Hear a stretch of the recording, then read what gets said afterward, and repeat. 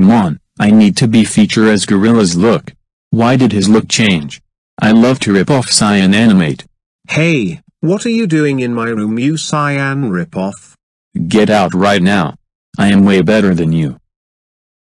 Wah, please comfort me. Wah. Sorry about that guys, I regret making that look anyway. Anyways, I have not been posting on YouTube. First of all, thank you guys for being patient. So, I haven't posted because I had a lack of motivation. I am not sure why, but I always am lazy and just not in the mood for GoAnimate. I focused more on chatting and real life. But do not worry guys, I will have a grounded video out soon. I usually do not spoil it, but it will be called Lily gives her IP address to random hackers grounded. So stay tuned.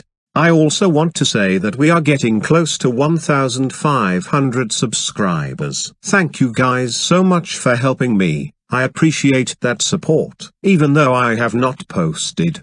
I also haven't posted because I was kinda part of the Rainbow drama and too many things happened that gave me stress. But this isn't stopping me this time.